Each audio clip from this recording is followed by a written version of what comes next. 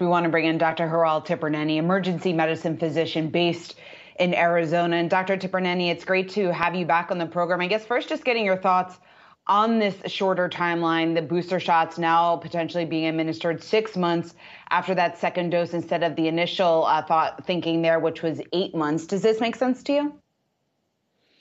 Well, thank you for having me. Um, you know, it does make sense because we're following the data, and and I like what Anjali said is that we have to let the data guide us, and the data shows us that if we have waning immunity at six months, then that is the appropriate time for a booster.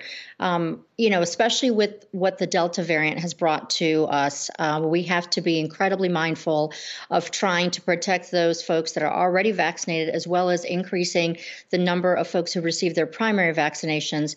Um, this is is really a bit of a race against the clock, and there's there's sort of a lot of balls in the air. We have to address those that are unvaccinated, those that are uh, sort of waning off on their antibody levels, and and then you know we have to be mindful of global vaccination rates as well, because as long as the Delta variant is out there and and replicating, and we still have so many cases, not just globally but in our country, we have potential uh, for more variants to develop, and and obviously the greatest fear would be if there was a variant that was resistant to our current vaccines. If you are fully vaccinated now and at six months it's not waning and you're not immunocompromised, what does a booster shot do?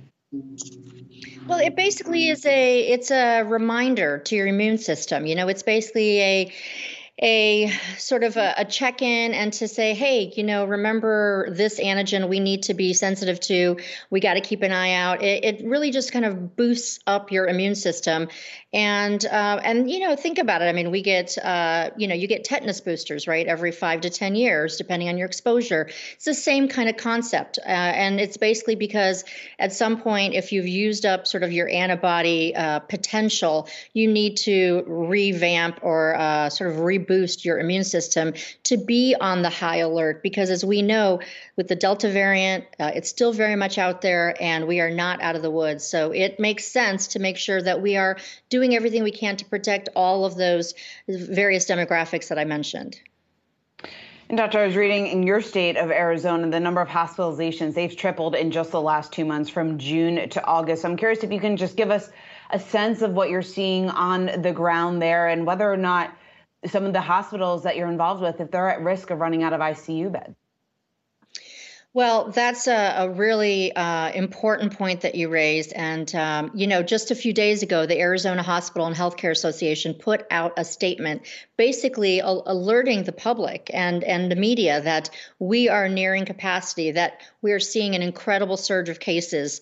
And to let people know that, you know, what they're hearing, what they're seeing is real, the data does not lie that we are seeing uh, an astronomical surge uh, in COVID cases because of this Delta variant, because of the number of people that are still unvaccinated.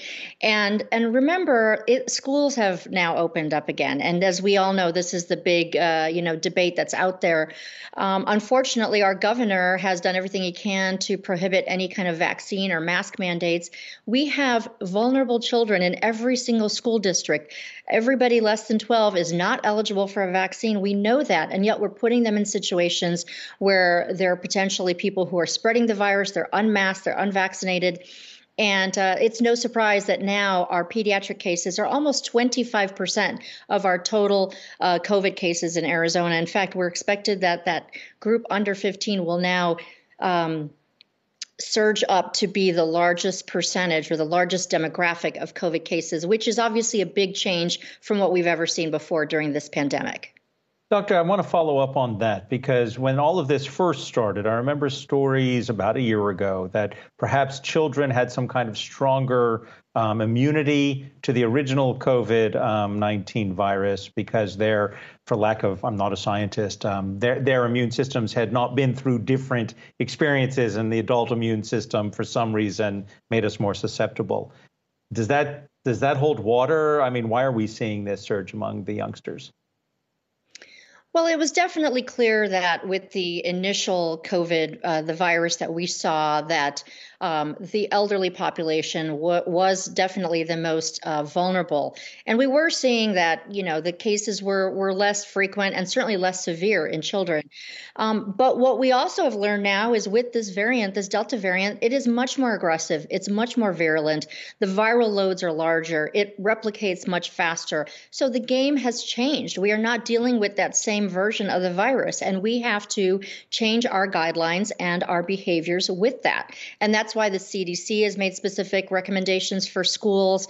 That's why all public health officials are recommending masks, encouraging staff to be vaccinated. Now we have full um, approval of the Pfizer vaccine, which hopefully will encourage more people to go out and get that vaccine because we are dealing with a different beast and we are seeing the numbers. They are not lying. We are seeing incredible numbers of ICUs that are overflowing, people that are getting sick at, at younger age groups. And we have to be more vigilant, and that means masking and getting vaccinated. Dr. Hiral, uh, uh Dr. Tipirneni, excuse me. The, one of the big uh, news events of this week when it comes to COVID is the FDA fully approving Pfizer's vaccine and Moderna, of course, uh, officially filing the paperwork for full approval of theirs. I guess from your perspective, because you talked to a number of patients, how significantly do you think this could potentially help raising the number of people who are willing to get vaccinated here in the U.S.? Look, I think there are a lot of different reasons why people have uh, unfortunately chosen not to get vaccinated. Um, and some of those are based in, in absolute misinformation, and some of them are based in, in fear. Um, but still, those folks remain open minded to say, you know, we want to know that this is fully approved, and then we'll, we'll feel safer giving it to our family. Um, so it's a matter of kind of figuring out where people are and having that conversation, um, but making sure that they know the facts, that they have accurate information because there's so much misinformation out there.